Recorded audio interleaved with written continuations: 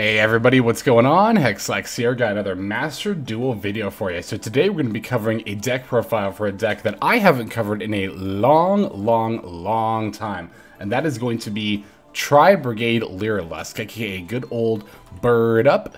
Uh, I've covered this deck quite a bit in the earlier seasons of Master Duel, way back in seasons like 1, 2, 3, and a little bit of 4 I think as well.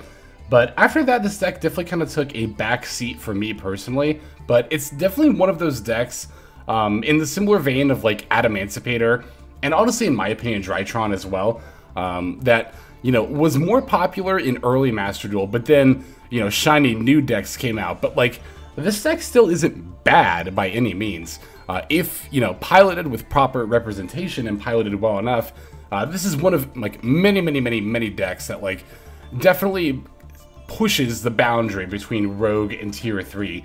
Um, I think if people, for some reason, like, in mass started playing Bird Up again, we would definitely see Tier 3 representation for the deck. But, um, you know, as is, it's fine. Um, in fact, it's even, in some ways, it even works to the advantage of decks like this because some people might not be as familiar when they see uh, you start playing Lyrilusc monsters and might not know how to counter your combos. So as far as this deck's combos, uh, for those who are unfamiliar, because like I said, it has been quite a while since we covered the deck here, the main combo that the deck likes to go into and end on is uh, making a couple of Recital Starlings, which uh, can search more level 1 Winged Beasts for your deck, so that helps. Uh, and then using those two Recital Starlings on turn 1 to go into uh, F-Zero Utopic Future, and then from there Utopic Draco Future. Uh, this is being a very good boss monster to end on. Uh, can't be destroyed, and not only negates effects, but if that monster was on the field that it negates, you actually get to steal it and take control of it. Uh, but that's not the only thing you end on. Uh, a pretty standard turn 1 uh, Bird Up end board will also end on a Simorgh, which during the end phase will allow you to special summon an Apex Avian from your deck. And then you also typically end on an Ensemble Robin, uh, this is a Lyrilusc monster that the main thing you're looking for here is this first effect, or second effect, I guess. Uh, if your opponent special summons a monster uh, during the, except during the damage step, you can detach one material and target one of those special summoned monsters, return it to the hand, and that's not once per turn. So uh, you'll get Ensemble Robin with like three or four materials on it, so that represents three to four uh, disruptions right there in one card, and also um, that's bouncing too. That's not even just like destroying or banishing, uh, which those can trigger certain effects, but bouncing, uh, that's going to trigger much less effects. And also, uh, you can summon this and the Apex Avian uh, underneath the Simorgh here, and that's going to prevent those cards from being targeted, which is going to be very, very nice. It means they can't get impermed or uh, hit with a lot of different kinds of removal there. One of the other big strengths that Bird Up in particular has in this format is its ability to not only play, but also search DD Crow. DD Crow is, I was gonna say it's a, a great, it's, a, it's an alright tech card right now. Um, I gotta be real, I don't think DD Crow is like super duper good in this format. Now, it's easy to think like, but Lex, you know, MathMech is playing super factorial, um, and just MathMech in general with Diameter and Sigma, how could DD Crow not be good right now? The thing about DD Crow um, against MathMech and against most decks in general is, as you can see, I'm typing and searching up here, uh, Ghost Spell. Ghost Spell is going to pretty much cover just about everything DD Crow can, um, and also then some. Now, to be fair, one thing DD Crow can do that Ghost Spell can't is uh, banish, and also call by as well. Uh, DD Crow can banish spell and trap cards out of the graveyard. That actually matters sometimes, especially with Sky Striker being as prevalent as they are, but if you're looking, again, to specifically stop, like, MathMech Superfactorial and that kind of a thing, generally speaking, Ghost Spell is the way to go. So why are we playing DD Crow in this deck, then, over Ghost Spell, if that's the opinion I have? Well, DD Crow is a level 1 winged beast, which means it is searchable by uh, Recital Starling, as well as um, the Lyrilusc Cobalt Sparrow. So it's actually not uncommon at all to have an extra search for a level 1 winged beast in your combo, and if you do have that extra search, you can just go ahead and grab a disruption for free. So when it's being searched for free off of stuff you're already playing, then yes, I think DD Crow is is is a fine tech choice for this format. But again, if you're playing like other decks, then I generally recommend Ghost Spell if you have access to it. But DD Crow, is still not a terrible card, but Ghost Spell in most situations just tends to be a little bit better. The rest of the build is fairly self-explanatory. We're playing two Cobalt Sparrow because this card is a two. Why is this card still a two, by the way? Like, why is this card still a two? Fraktall, I mean, I personally want Fraktall to be at three, but at the very least, because Tri Brigade is used with like Sprights and so many other archetypes, I can see why Fraktall might want to be at two. But Cobalt Sparrow, this card can really be at 3. I feel like you played 2 even when this card was at 3. It's like um, that Virtual World monster, Roshi Lao Lao that they hit, I think was the one to 2. Like, we it's like, alright, I, I only played 2 of it anyway, but okay. I felt that way about Sparrow as well. I have no idea why this card is still at 2, but... Um, yeah, otherwise we play 3 of of the turquoise warbler and the Beryl canary. Uh, the warbler is a good 3F because it's your main starter, the one you like to open with most, and then uh, Beryl canary can be a good catch-up card, a good comeback card. Uh, so we like top decking into it. The sapphire swallowtail and celestine wagtail, um, those are more like extenders, so that's why we're playing two of each. Wagtail, you could honestly only play one, and that would be fine. Um, I'm mostly just playing two to make it a little bit more consistent. Because opening with multiple level 1 birds is, is pretty nice, and being able to special summon this and grab the bird call from your deck is also very nice. We're playing Tenkis, those are just to get Fraktalls. One thing to note about Fraktall in this deck is, you know, most of the time when you're playing Fraktall, you're of course sending the Kitt and then the Nervall to add something. Uh, in this build, it's usually going to be Kerass that you add, but Fraktall can send any level 3 or lower winged beast to the graveyard, uh, so that's actually relevant sometimes for sending the Cobalt Sparrow to the graveyard. Uh, sometimes you can start your plays by using Fraktall to Foolish this, and then uh, use the, or is it, the, the Turquoise Warbler to bring the Sparrow back from the graveyard. Um, because the, the Turquoise Warbler can special summon a Lyrilusc from the hand or graveyard, so... Speaking of Foolish, I actually should have a copy of this. I'm only just now realizing that I don't. So that is one card I could actually cut the second Wagtail for as a Foolish Burial. Could also cut one of the imperms. Would actually be a pretty good idea, because I gotta be real, I don't remember if I've mentioned this yet in a video yet or not, but Imperm and Veiler, I'm not really feeling them a whole lot this format, I'm not gonna lie. I, I just don't think they're that great right now. Um, they're good against Sword Soul, but Sword Soul in general feels a little bit mid right now. Um, and on top of that, like, they don't really do effective jobs stopping the other big meta decks of Mathmech or Branded Despia. Those two decks can very often play through an Imperm or a Veiler, so I'm really not super feeling it right now. That might change once Spright's about to come out, and that's going to shake up the meta hugely, so, you know, take that evaluation with a grain of salt. But in exactly the the post-circular pre-Spright meta, Imperm Veiler, I don't think they're super great. Alright, I think that's pretty much everything I wanted to talk about the build here. Um, yeah, that's pretty much everything. Oh, one thing I will say that you can do with this deck that I always forget to do, but is actually pretty nice, is Assembled Nightingale. So, if your combo gets disrupted and you're afraid of getting OTK'd, one thing you can do is you can end on an Assembled Nightingale and then pass to your opponent. Because Nightingale, as a quick effect, you can detach your material and then your Lyrilusc monsters can't be destroyed, but more importantly, you take no battle damage, and that's for the whole turn. Uh, that's for the whole turn you activate this effect, and the Nightingale does not have to remain in play. So, um, yeah, that's a very good, very, very good tool to use if your combo gets disrupted and or you think your opponent's just about to OTK you on their next turn. Just go for a Nightingale and then detach your material during their turn, and then no battle damage, so you will survive through that turn, unless they're on like burn or whatever, but um, or runic, I guess, to be fair, but um, yeah, okay, so I think that's about everything I wanted to talk about now. So now let's go ahead and break this build down card by card and then take a look at some games. So we're playing one DD Crow, two Lyrilusc Cobalt Sparrow, two Lyrilusc Sapphire Swallow, three Lyrilusc Turquoise Warbler, three Tri Brigade Nervall, three Lyrilusc Beryl Canary, two Lyrilusc Celestine Wagtail, three Maxx "C", one Tri Brigade Kerass, one Tri Brigade Kitt, three Ash Blossom and Joyous Spring, two Tri Brigade Fraktall, one Mist Valley Apex Avian, one Nibiru, the Primal Being, one 141, it's really trippy to say, uh, three Lyrilusc Bird Call, two Fire Formation Tenki, two Called by the Grave, one Crossout Designator, and then three Infinite Impermanence. That's going to round out the main deck.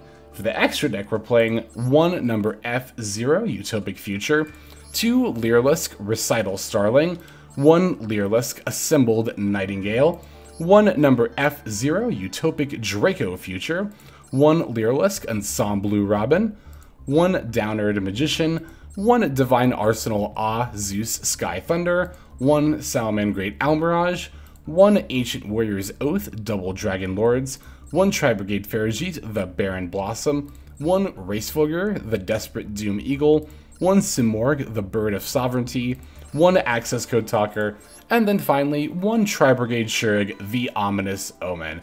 That's going to round out the extra. Now let's go and take a look at those games. Alright, so our first duel here is going to be up against Sword Soul Tenyi. Which, like I said kind of earlier in this, this profile, I kind of glossed over that statement, but I do think Sword Soul's a little bit mid right now. It just, it doesn't feel like it does enough against Mathmech in particular. Alright, so we're going first, and this opening hand is looking fairly decent. I mean, it's looking pretty good. Uh, we have the Warbler plus uh, a relevant target to special summon in the form of Wagtail, so can't complain too much. Um, a lot of this extra stuff, like the the Apex Saving the Beryl Canary is not ideal to open with because we can just search it out later, but uh, Beryl Canary is also not bad to open with because like I said, when we open some of our combo pieces, that means we get to use our later searches for like DD Crow and stuff like that. So I'm going to start with the Warbler into the Wagtail. That's going to let me add the Bird Call from deck to hand. Uh, I'm going to fire off the Bird Call here just to add the Sparrow now. Uh, I did that mostly before overlaying just to check and see if my opponent had an Ash Blossom because um, I want to add like a Nervall off of this Recital Starling here. Um, and I want to make sure that this doesn't get negated. So I, I figured maybe if I threw out the Bird Call, my opponent might ash that. I guess I'm not adding Nervall just yet. We'll add that off of the second Starling. I'll add the Sapphire Swallow is actually the one you want to add next because we to special summon this uh, Cobalt Sparrow from our from our hand.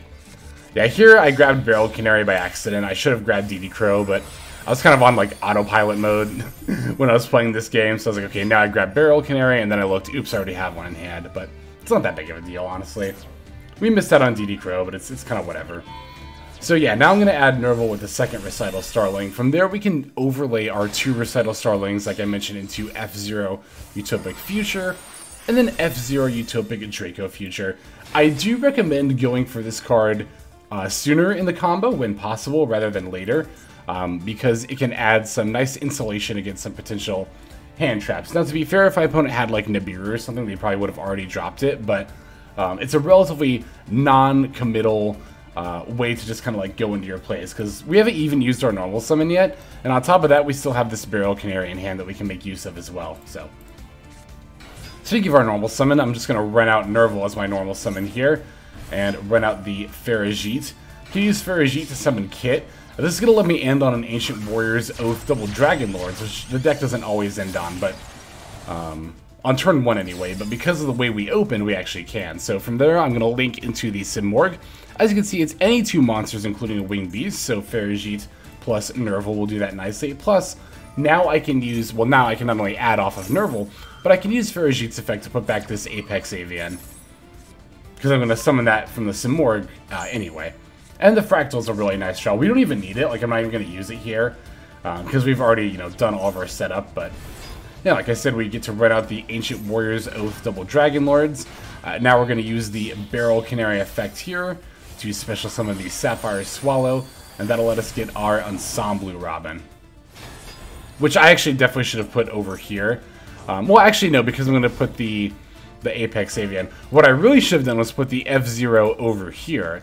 Uh, that way I could have had both the Ensemble Robin and the Apex Avian protected by the Simorgh uh, target protection effect there. But, alright, so yep, Apex Avian comes down during the end phase, and um, this, these four here are pretty typical end board, turn one for tri, or, yeah, Tri Brigade Lyrilusc, or Bird Up as we're playing.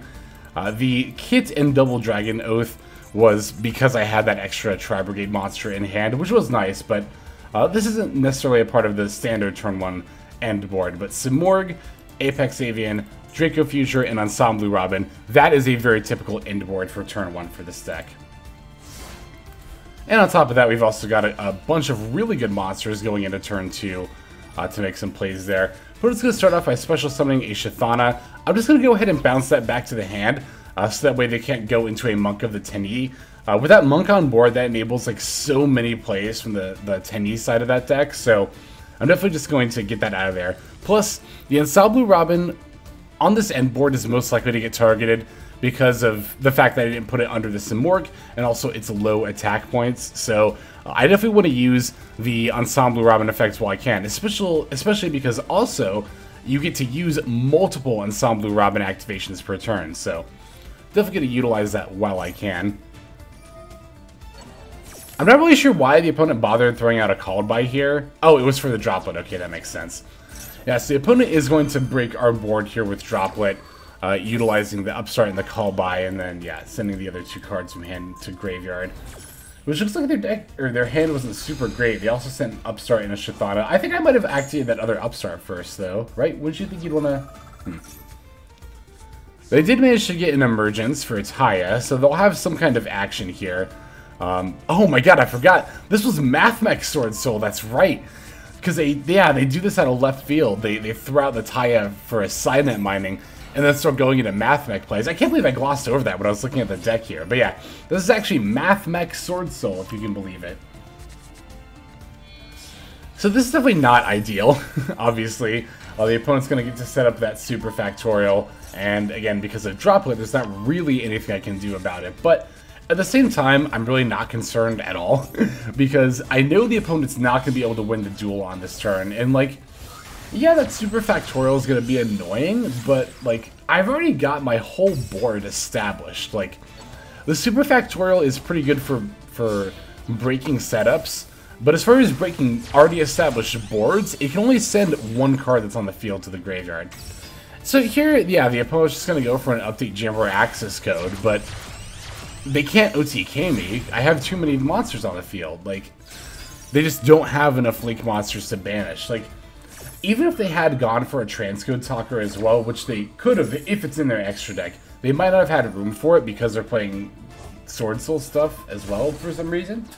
Um, I mean, it's not like the worst combination of cards, I guess. I, I don't know. Um, but yeah, um, yeah, even if they had gone for the transcode and gotten another Link monster in Graveyard and Earth one, like, yeah, it, it still would have had stuff on board. They were not able to punch through for lethal. So, yeah, the opponent is going to have a super factorial live with the diameter, but again, I've got so much gas in my hand here. I'm just, I'm not worried at all. Especially because I also have two very relevant on uh, effects on board that I get to start with. Right off the bat, I'm just going to use Kitt's effect for 4 and get a Shuriag, and my opponent is going to flip up Super Factorial in response to the Shura getting summoned, but this is too late. This is actually too late, and it's not going to do anything as a result. So I'm going to show you why, too. So the opponent's going to flip up Super Factorial. Um, here I'll just use, whatever, I'll use Double Dragon Lords now, just because I've already used the Kitt. I don't need it anymore. Get that access code off the field. Then they'll go for Laplacian, but here's the thing about Laplacian, and it's not even just about Laplacian, this is just about how uh, resolution of effects works as a whole. So, um, in Yu-Gi-Oh!, chain links cannot be interrupted. Uh, for that reason, my opponent did not have a chance to activate Laplacian's effect with Shuriag's still on the on the chain link. I almost said the stack. We're not playing Magic here. Similarly, they couldn't use the diameter effect yet because we still had to resolve the current chain link. Part of resolving the current chain link was resolving Shuriag as chain link 1. So when I used Shuriag to banish Laplacian, my opponent did not have any opportunity to activate an effect to negate it, because again, you can't disrupt chain links, nor did they get an opportunity to activate the send one monster, you know, card in your opponent's hand, etc., etc. They didn't get to use this effect because Laplacian was no longer on the field at the time the chain link had resolved. So that's something very, very important to remember, especially if you're playing Mathmech or if you're playing Tri-Brigade with Revolt.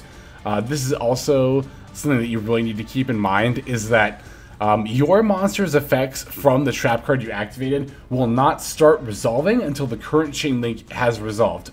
Also, if a card is removed before the resolution of a chain link, before it had a chance to activate its optional effects, those optional effects do not get a chance to activate. So, and then yeah, we're just gonna see a concede from my opponent right after that. So, wanted to show that game for multiple reasons. It's a decent showing of what this deck can do on turn one, and then also uh, just wanted to once again hammer that point home with the location at the end there. Uh, Got to make sure that you're activating that preemptively. If my opponent, um, if they wanted to negate the Shuriag that was going to come out, what they should have done was used or chained Superfactorial to the activation of Kitt's effect. Then Laplacian would have been on the board, uh, been coming on the board at the same time Shuriag was, and could have used its negate effect on Shuriag's effect. So there is that duel. Let's go ahead and move on to the next one. Alrighty, this game here is going to be against good old Bird Up. Or not Bird Up, sorry, geez, Floowandereeze. Wow. um, with Bird Up, we're, we're having a, a bit of a bird mirror match. Not quite the same birds, but birds nonetheless. So, going second against Flow is not ideal, but opening Ash and Imperm going second against Flow, that's definitely a bit more ideal. But let's go lead with a Terraforming.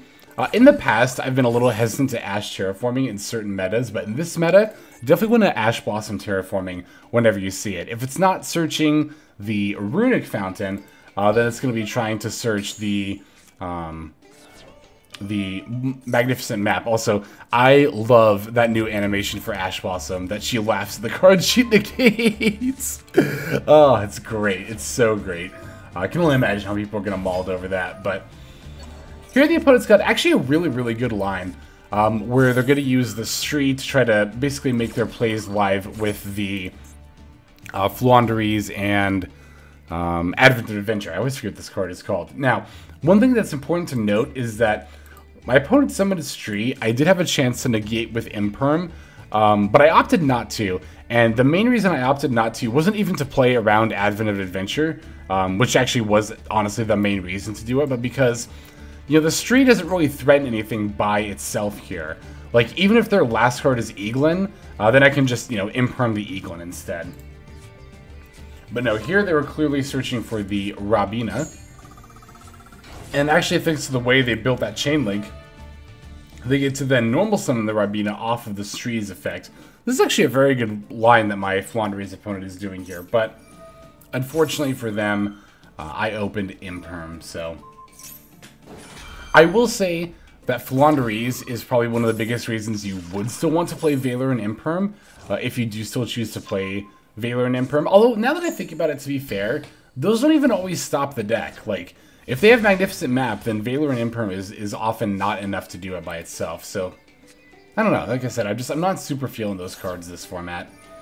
Alright, so here I'm going to lead with Fraktall for literally this exact reason. I wanted to bait out an Ash Blossom just to see if my opponent had it, and they actually did if this Fraktall had resolved, I probably just would have gone Kitt and then Nervall and then added a Kerass for potential um, extenders if I needed it.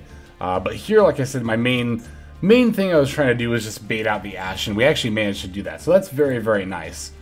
Now, I know their Actually, do I know their last card? I'm trying to remember if I do. And there's another little laugh there. Um, I'm trying to remember if I actually know what their last card is. I don't think I do now I think about it. Yeah, I don't know what their last card is, but it's not super likely to be relevant. Um, you know, Floowandereeze, they don't play like Maxi and Nibiru, so if we play through an Ash Boss, I'm not really anticipating anything else out of their hand. Alright, so we're seeing a pretty similar setup to the last duel. This time, though, I'm summoning the Nervall with the Swallowtail, and then special summoning the Ferrijit. So similar order, or similar um, method rather, just a slightly different order. Now you get to add a Tri-Brigade monster off of the Nervall's effect. I'm just going to get another Fraktall here. Gonna go for the Utopic Draco Future before making more plays, on the off chance they somehow have a relevant card effect in hand, but I can't imagine they do. And then now I get to use Ferrijit to special summon the Fraktall, and then from there I can I can banish three for uh, the Hraesvelgr or Simorgh, but it would have to be Hraesvelgr because Simorgh can't be used as a material. And then we make access code Talker and just OTK as our opponent realized before they conceded there. So another fairly standard game of how this deck typically likes to play. This time we got to go second and opened well enough to control down our flow opponent. So there's that duel. Let's go and take a look at the next one now. Got another game against Sword Soul Tenyi here. This one's this one's a little all over the place though. It's playing like Gold Sark and Triple Blackout. Triple Blackout. I mean, I think that's better in Sword Soul than Cosmic Cyclone, to be fair. But uh, anyway, I get to go first here. Um, opening Fraktall plus Bird Call is pretty interesting. Uh, I actually misplayed here. Um, as you can see, I once again I went on autopilot and I pitched Fraktall, and I was like, oh, I'm pitching Fraktall, so now I'll pitch Kitt. And I was like, no, wait, I actually should have, I should have pitched the Cobalt Sparrow there, um, and then, um, yeah, and then I could have used Bird Call to add Warbler to my hand, and then specialed it, and then specialed the Sparrow out of my graveyard. But we actually can salvage this. Uh, and how I'm going to do that is I'm going to use that Kerass that I added, not special summoning it, but just normaling it, because I'm going to special summon the Cobalt Sparrow off of the Ferrijit that I get off of Kerass, and that's going to be how I activate this monster's effect. I also didn't want to discard the Apex Avian, uh, because I'm still planning on ending on Simorgh, even though I made this slight misplay, we're still able to do this here. So I'm going to use Ferrijit to get that uh, Cobalt Sparrow, and then I'm just going to link the Ferrijit and the Sparrow together in order to make that Simorgh. And then using these uh, Sparrows to add a Beryl Canary. So, that's not like super ideal. Like, we're going to unfortunately miss out on some of our end board that we could have made, but, um, you know, one of the things that I really like to, to talk about that I haven't talked about relatively recently is um, you know, not being too hard on yourself for misplaying and just trying to make the best of the scenario. Like, yeah, this board isn't ideal. We should have a Utopic Draco future as well. Um, and I think there are a lot of people who would, like, concede here. Who just, like, concede out of frustration or out of, like, embarrassment. But, um, you know, when it comes to competitive play, this is very, very relevant for uh, tournament play, but I think it's relevant for ladder as well. If you want to ladder up in a time-efficient manner, you might think like, oh, I screwed up, or oh, I didn't open optimally. I'll just lose and go to the next game to get to it more quickly. That's more time efficient. It's actually not though, because by losing, you're taking a huge time hit, because that's now another game you're going to have to play to catch back up to where you were before. So I think sticking through the game you're in and trying to play it out is, again, not just better for um, getting a more competitive and tournament-focused mindset if you're interested in that, but even if you're not, it's still more time efficient most of the time. Not every time, but most of the time than like conceding when you have a quote-unquote mediocre setup like this, so... Yeah, the opponent's going to Taia and run over my Ensemble Robin here. Um, obviously, I would have just bounced the token they special summoned otherwise. Um, but it's also going to use up their battle phase to do that. And actually, now I look, they didn't even really have anything they could use with Taia here. Um, they do set a bunch of back rows. Now that we know after the fact that the opponent's got three Blackout, uh, it's pretty likely Blackout's one of them. This Ash Blossom on the Simorgh effect isn't, like, terrible. Well, I mean, it, it would have been terrible if it had resolved, if my opponent hadn't, uh, or somebody hadn't called by an Ash Blossom there. I'm actually trying to remember why that fizzled. Hang on, because my opponent successfully resolved Ash Blossom on my turn, right? Yeah, they did it on the... Uh, or no, no, I'm sorry, that was last game. They Ash the Fraktall there. Yeah, yeah. So they, the call by oh I I they call by my Ash Blossom on their turn. That's what it was. So even if the Ash Blossom had resolved on Simorgh, like that doesn't mean anything. Like I have, you can kind of see I have Beryl Canary and Fraktall and Bird Call in my hand. So like I, I was spoiled for options there. Uh, was not wanting for options at all. We do have one more game to take a look at. Let's jump straight into it here. And our final duel for this video is going to be up against Branded Despia. Good old Branded Despia. I think this build was playing like 47 cards or something stupid like that. Hang on, let me see here. Yeah, they're playing 47 cards. It's so funny with uh, with Branded Despia, the fact that you can just get away with playing, like, however many cards you want. I like to stick to 40 still, but for consistency's sake, but that's just me. I mean, look at the look at the MCS week one, you know, the second place deck was a Branded Despia deck that was 46 cards, so... Um, yeah, here I'm to start off with the Tenki. Uh, to use that to um, mostly check for Ash Blossom, but here actually Um, it can kind of matter. I don't know. I actually kind of thought about just sending the Sparrow here again, but then I realized um, I actually had a line where I could get the uh, Simorgh, and even though it's going to look a little bit weird, um, and it's not going to involve like Turquoise Warbler or anything, we're still able to end on a pretty standard end board with a kind of wonky opening hand here. The nice thing about this opening hand in particular is that um, this is one of the rare times where we get to summon the Simorgh before we summon either of the Recital Starlings, so we get to double buff our Simorgh up to 3600 attack points, which is super duper relevant. We also get to add DD Crow here because uh, we've already used Beryl Canary and we don't need any of the other extenders, so... We actually had two extra adds because of that, so with the second one I'll add another Beryl Canary for the next turn in case I need it. Yeah, if you've got an extra search after the DD Crow, I like getting a Beryl Canary for the next turn. Not just for comboing, but even if things go like completely south, you can use the Beryl Canary to potentially go into Assembled Nightingale and then up to Zeus from there. So this board isn't gonna is gonna end rather without the Ensemblue Robin this time, but that's definitely better. Um, or it's definitely better to end without that than without the Draco Future. Excuse me. Yeah, so since I know they're branded Despia, I'm just gonna let this this uh, tragedy resolve here. Foolish, I actually typically do not use Ash Blossom on this um, because in my experience, most of the time, not every time, but most of the time, whatever they're foolishing is going to be some kind of effect that Ash can stop anyway. Whether it's Despian Tragedy, whether it's Block Dragon. Um, I'm trying to think of the other main cards that get Foolish in this meta. There's not a whole lot else right now, honestly, but um, Foolish, they'll typically have something later down the line worth negating. Here, I'm absolutely holding my Ash Blossom until I see a Branded Fusion, which the opponent is very clearly desperately trying to bait out but I am not falling for it. And then they just concede. I forgot they just straight up conceded after that. Um, but yeah, that's definitely something that's worth noting. Um, is recognizing when your opponent's trying to bait something. Uh, Branded Despia is one of the easiest decks to recognize baits.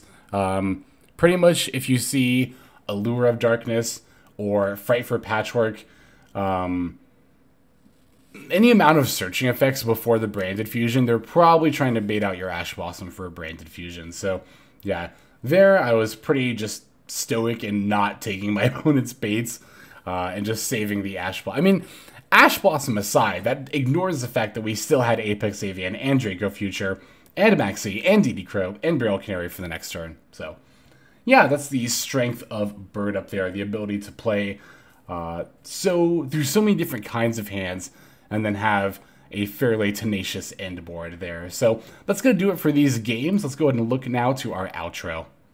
Alright everybody, thank you so much for watching all the way to the very end of the video like this. That means a whole lot to me. Uh, not just personally, but it's also a great way of supporting the channel as well. If you're interested in supporting the channel in other means, uh, you can of course feel free to comment and or subscribe right here on YouTube.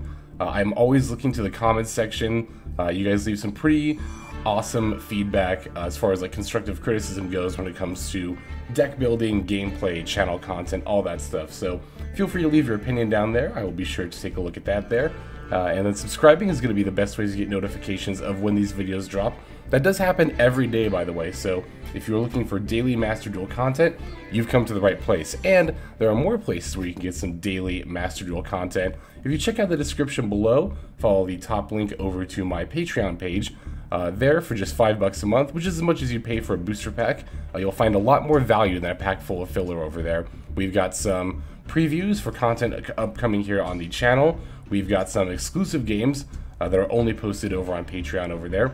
We've got some Q&As, and then you can also have your name featured in this lovely credit sequence where um, I thank all of the people who are uh, helping contribute over there on Patreon. Uh, it's a huge support to the channel, and it really means a lot as well. So thank you everyone who is donating uh, that is featured here on screen. And again, um, you know, it's not just a pure donation, you do get some more daily Master Duel content over there just for being a part of the Patreon.